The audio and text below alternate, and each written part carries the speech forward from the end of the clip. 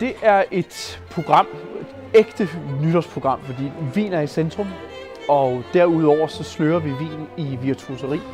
Så det er et yderst festligt program, hvor jeg også som solist får lov til at bruge alle violinens kundskaber. Jeg glæder mig meget. Det bliver skønt.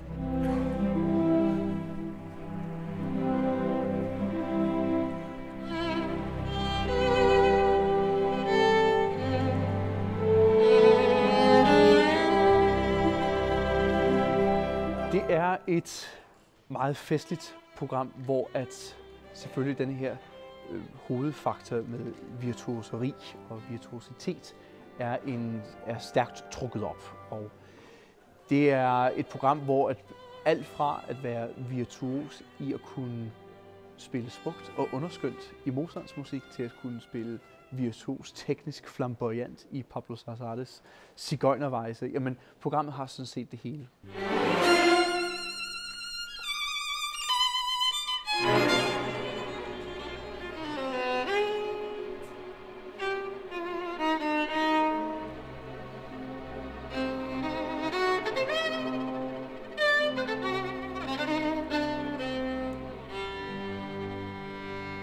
Hvis man ønsker at starte 2023 med en musikoplevelse, som er baseret på 100% ren spilleglæde, så skal man komme ind og høre en koncert med Lyngby Torbæk Symfoniorkester og en pragtfuld dirigent Christian Spillerkamp.